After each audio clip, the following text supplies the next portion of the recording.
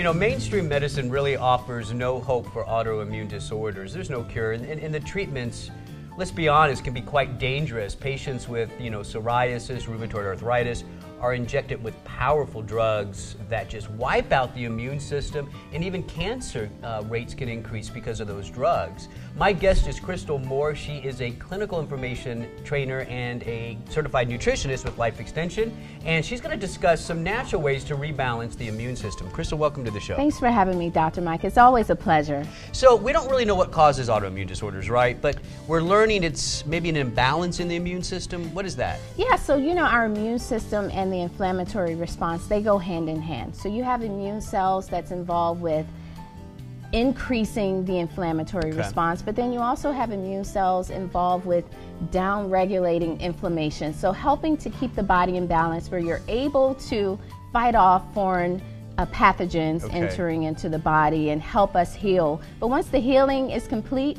then you need to calm down the immune right. system, calm down the inflammatory we, response. We, we, don't when we don't do that, that's that imbalance I think that they're talking about now. Exactly. So let's let's make this is an important point. So let's make sure this is clear. Mm-hmm. There's immune cells that attack. Yes. And immune cells that calm down. Exactly. So we want to rebalance that. And does conventional medicine really do that with those drugs? Well, unfortunately, and it's so sad with those suffering from these autoimmune diseases the main area of treatment is just suppressing the immune response, suppressing it okay. so much so that now you are making yourself susceptible to infections, to cancer. Cancers, right. Okay. Exactly. So, so, is there anything in the natural world then that helps to do that balancing act a little bit better?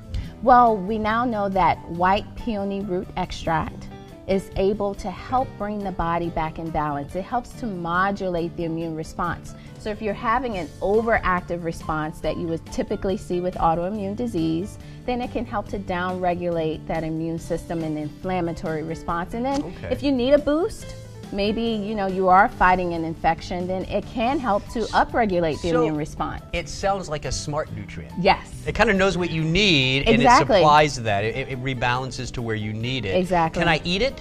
Well, I don't know if it's going to taste very, well, very you know, tasty. We, but people want to talk more about you know how I can first get it through food, and if that's not the case, yeah, fine. it's not something that you're going to find available through food. But then the next best option is an extract, a capsule. A capsule, yeah. But to see, the thing is, you have your extract, and the extract needs to be standardized to some of the active components okay. in the peony root extract as well. So that's so a good point because the food may not have a high enough of those key compounds. That's what standardization exactly. is all about. Now, what about allergies? Does this also play a role there? Yeah, you know, it can be helpful with all of these um, health conditions that have that immune system, maybe an over response of the immune system. So allergies, so you see that as well. Yes. Okay, awesome. Because I know I have problems with that. Maybe I should give it a try. Yes. Crystal, thanks for coming on. Well, thanks for having me, Dr. Mike. If you want to learn more about white peony, you can go to www.lef.org slash immune. Thanks for watching. I'm Dr. Mike.